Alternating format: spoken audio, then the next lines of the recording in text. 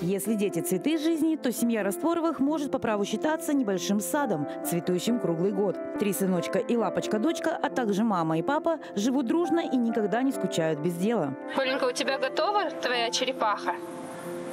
А, Калюш? Давай будем водичку туда наливать. А ты пока наполняй рыбку.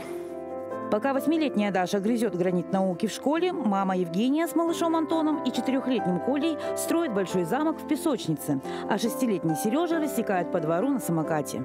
Каждый ребенок, он желанный, он пришел в нужный для него момент, как это, я думаю, нужно. И поэтому сложно сказать, планировали, не планировали, это просто вне поля моего видения. Большая семья Растворовых не только отдыхает вместе, но и всегда сплоченно занимается домашними делами, справляется с трудностями. Одна из причин, по которой мне бы очень хотелось, вот лично мне, большую семью, то, что дети вовлечены в быт. То есть нет такого, что мама ради детей. Мне не нравится такой подход. Мне больше нравится, что мы вместе делаем какое-то общее одно дело. Старшие играют с маленьким Антошей, помогают маме с уборкой и приготовлением обедов.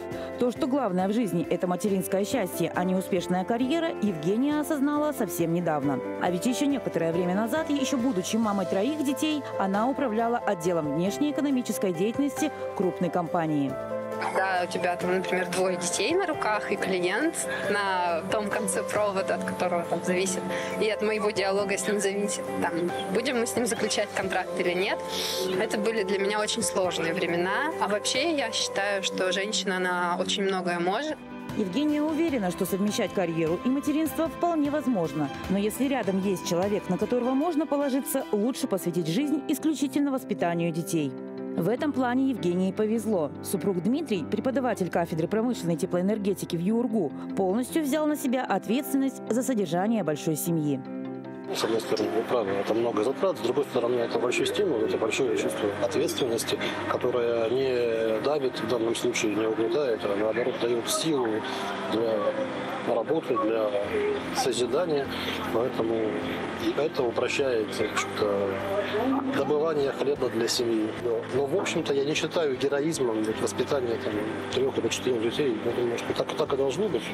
В русской традиции так всегда и было. Многодетность считалась не подвигом, а даром свыше. Причем большими были семьи с разным достатком – и царские, и крестьянские. Кажется, сегодняшние молодые люди стали возвращаться к традициям прошлого. Все больше супружеских пар решаются и на пятого, и на шестого ребенка. Тем более, что ощутимую поддержку многодетным семьям оказывает государство. И дополнительные соцпособия, и льготы, и программа материнского капитала. Евгения Малышка, Анастасия Кныш, Рамиль Газеев, ОТВ.